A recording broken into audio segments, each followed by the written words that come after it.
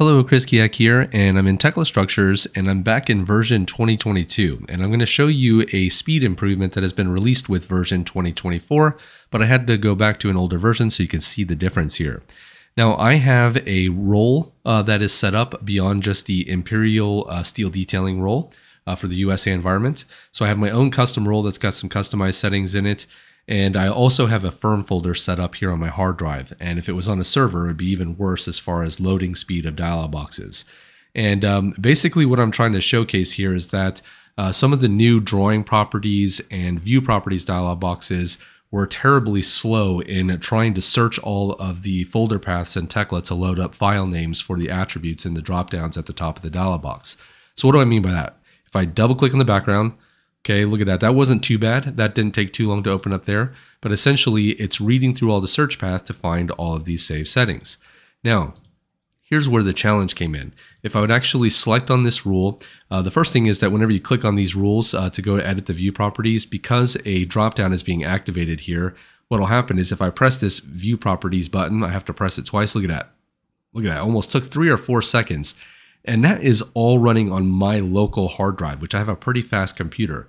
Now, just imagine doing that on a computer that has a firm folder that is on a network drive, or even worse, the model is on a network drive and you're opening and saving the model from a network drive folder instead of your local uh, C drive.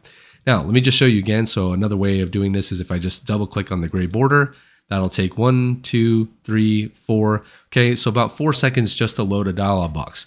And if you're coming from pre-version 2022 to this, this feels very painful from a productivity point of view.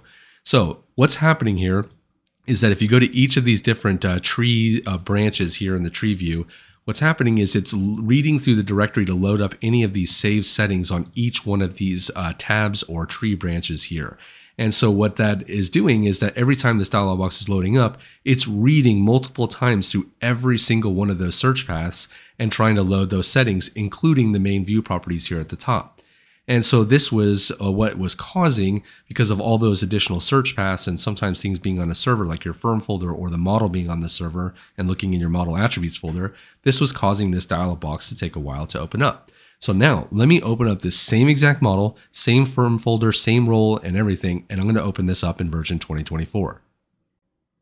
Okay, so same drawing and uh, same model, but in version 2024. So if I double click on the background, okay, that's actually a little bit faster to open up the properties, but let's go over here to the view properties. So I'm gonna select this.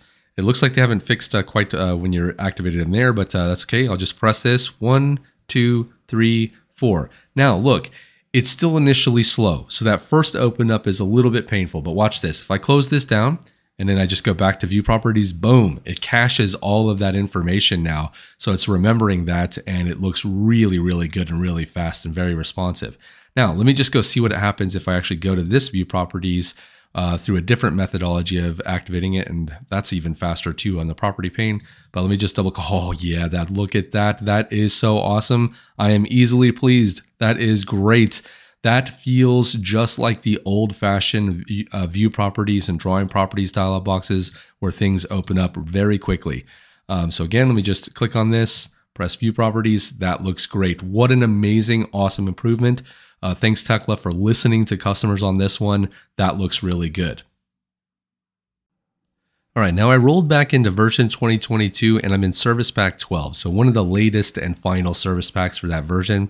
And um, there used to be a problem as well with the property panes being very slow. So watch, if I click on this rafter, one, two, yeah, so maybe two or three seconds to open that up. Not too bad. But again, if this was on a server, it'd be really bad. But look at this. It looks like that they've rolled this back to the older versions because um, I have a, uh, I just, if my memory serves, every time I would click on something, it would be really painful. Or if you group selected stuff, it would be really, really, really slow.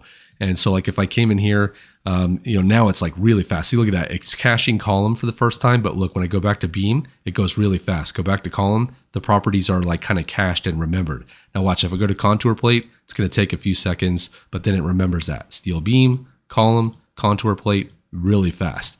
So this looks like it's been rolled back. The improvement on the drawing properties wasn't rolled back into 2022, but uh, at least from what I've seen here in this service pack, but uh, definitely the property panes have also seen some speed improvements as well. So this is just, again, really great to see this type of stuff.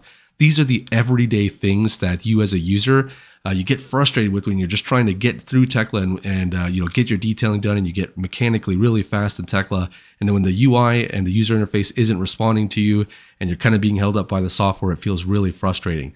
So when I see Tekla, you know, really focus on this sort of stuff and then they release these kind of improvements, um, this just really makes a difference to the everyday user. Awesome stuff.